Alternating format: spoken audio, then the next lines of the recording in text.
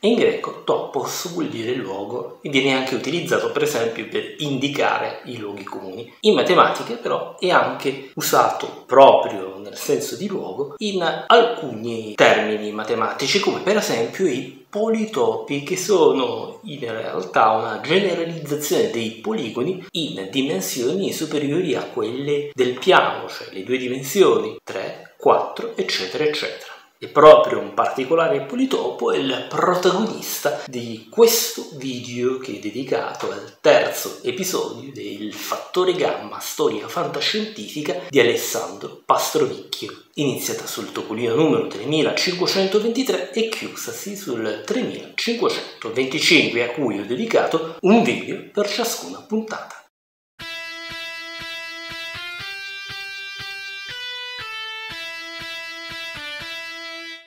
A questo punto già sento alcuni di voi dire ma non dovevi parlarci delle quasar oggi? E sì, così avevo detto, visto che il titolo di questo episodio, la quadratura del quasar, sembrava suggerire proprio le quasar come protagoniste della storia e invece è stato proprio quel quadratura a dirci, e un po' in realtà lo sospettavo, che il protagonista della storia sarebbe stato proprio un particolare oggetto matematico, il tesseratto. Ma andiamo con ordine e iniziamo la nostra storia con un matematico francese, Henri Poincaré. Poincaré infatti ci ricordava che noi come esseri viventi ci siamo sviluppati in particolare, abbiamo sviluppato i nostri sensi per poter sperimentare un universo geometricamente a tre dimensioni. Quindi ci viene piuttosto difficile riuscire a immaginare, anche solo a immaginare, un universo a quattro dimensioni. Potete quindi ben capire come sia stato complicato riuscire a spiegare la teoria della relatività speciale e generale di Albert Einstein una volta che questa venne scoperta e poi divulgata. La relatività di Einstein, infatti, ci dice che tempo e spazio sono strettamente legati, in particolare che il tempo e le tre dimensioni spaziali insieme creano uno spazio quadridimensionale che è lo spazio in cui si trova immerso l'universo che noi osserviamo dal punto di vista però della matematica pura, il discorso sulle quattro dimensioni era iniziato però alla fine del 1800. In particolare nel libro di Charles Hinton, A New Era of Thought, datato 1888, si andava infatti a immaginare tutta una serie di figure geometriche a più dimensioni, tra cui appunto anche un ipercubo che veniva chiamato per la prima volta tesseratto. Il tesseratto in particolare è l'equivalente di un cubo in quattro dimensioni, solo che il cubo è una figura geometrica in tre dimensioni e il tesseratto è una figura geometrica in quattro dimensioni. La sua costruzione parte proprio dal cubo tridimensionale, così come il cubo tridimensionale viene costruito a partire dal quadrato e il quadrato a partire dal segmento. In particolare se io prendo il segmento e lo ruoto per 4 volte di 90 gradi, alla fine ottengo un quadrato. E allo stesso modo se io prendo un quadrato e lo ruoto nello spazio di 90 gradi come angolo solido, ottengo alla fine un cubo. E allo stesso modo se io ruoto un cubo di 90 gradi quadridimensionali, otterrò alla fine un ipercubo.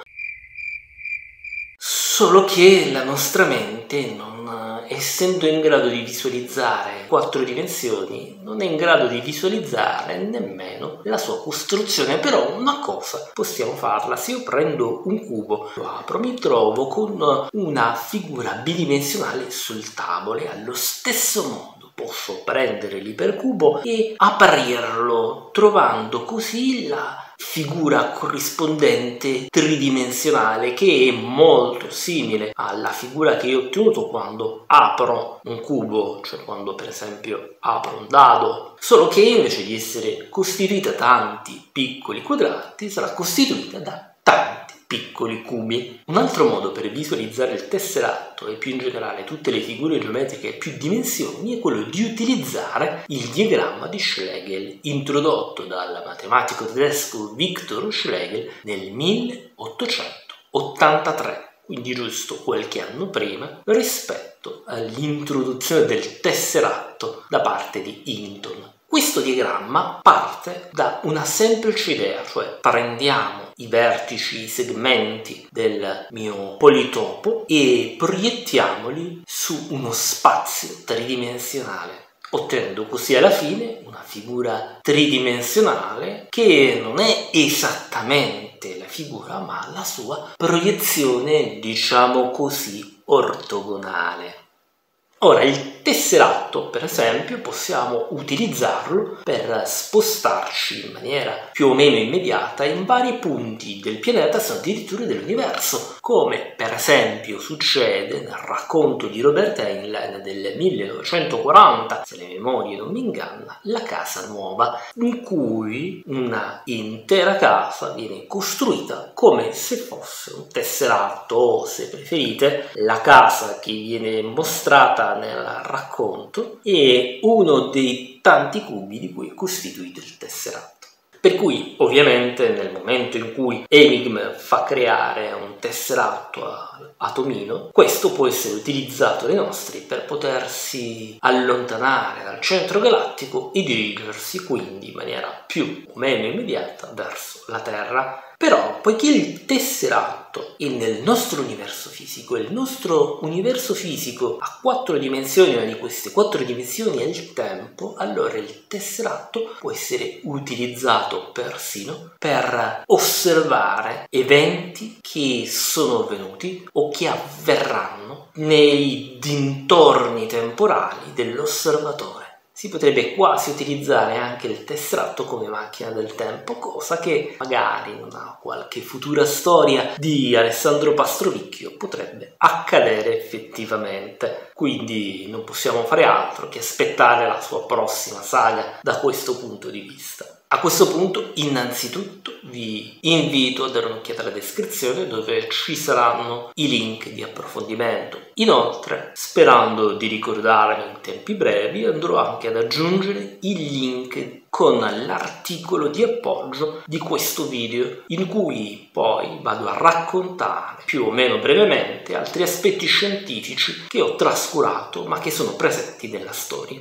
A questo punto non mi resta che invitarvi a iscrivervi al canale e attivare la campanella per ricevere notifiche su tutti i nuovi video caricati, inclusi quelli della serie Disney Comics and Science. Per cui, saluti a tutti!